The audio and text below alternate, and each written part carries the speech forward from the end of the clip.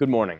I'm Saul Reisman here at Saul's Automotive, and today we're going to talk a little bit about what makes us different from your regular parts replacing mechanic shop.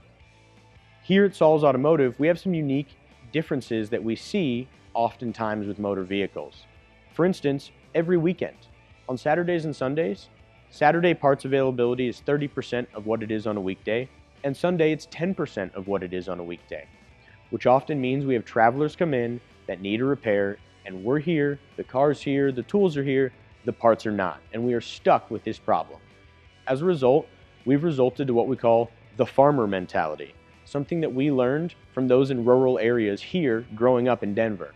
The idea that if you live more than 20 miles away from the parts store, it might be faster, cheaper, or more efficient to fix it yourself rather than repair, replace with a new part off the shelf, especially if one's not available. One of those aspects that we look at here is manufacturing and reproducing parts. In the event that a simple motor vehicle product can't be purchased, we'll oftentimes fabricate a replacement.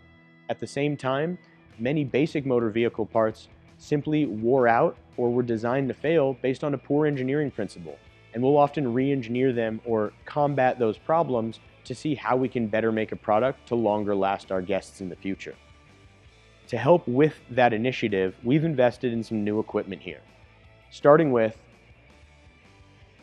a 20-ton hydraulic shop press so that we can not only press bearings and seals across on all motor vehicles, but we can physically assemble hard componentry here in-house. A 10-inch, 200-pound bench vise so that we can hand form sheet metal and that we can steel form and roll form many cold rolled steels your basic old school blacksmith's anvil, of course.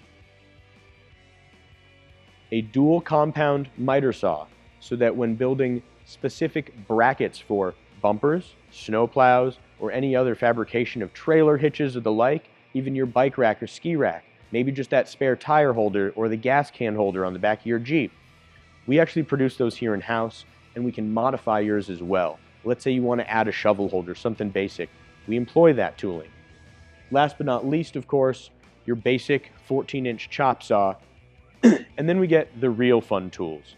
We have, of course, our Lincoln Electric 240 over 120 welder, which is the utmost of sensational use for us as we're able to fabricate exhaust componentry here in-house literally one inch at a time. And the one tool that we can't show you on television because it's simply too bright to use, the plasma cutter, or as they call it, God's pencil, simply a tool that you can hold in your hand to draw away sheet metal, cut open through sheet metal, and stitch back together, literally to be able to fabricate components here in-house. Let's say a 20-year-old vehicle comes in and it needs a fuel pump, and the tank is so rusted we can't even touch it. We can cut a hole through the floorboard of the vehicle, create an access panel, service that pump from above, and then weld it back in to make sure our traces were never there. That way we can ensure the most cost-effective repair, a timely repair, and to keep you on the road. If you have any questions or any concerns, please give us a call. If you're a traveler and you end up stuck on a weekend and think there's no solution, think again. We might be able to get you out the door here today. Saul's Automotive can be reached seven days a week, 365 days a year at 303 919 7769. Thank you.